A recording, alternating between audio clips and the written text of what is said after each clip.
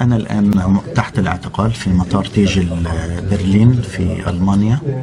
آه، أوقفتني سلطات المطار آه، بطلب من الإنتربول بطلب من الحكومة المصرية ورغم أني أبلغت سلطات المطار أن لدي وثيقة من الأنتربول الدولي بأني غير مطلوب في أي قضية وأن كل القضايا الملفقة لي قضايا زائفة إلا أن سلطات المطار للأسف أصرت على توقيفي واعتقالي وأبلغوني أنهم سوف يقومون بترحيلي إلى السجن ربما أو إلى القاضي حتى يحكم في قضيتي.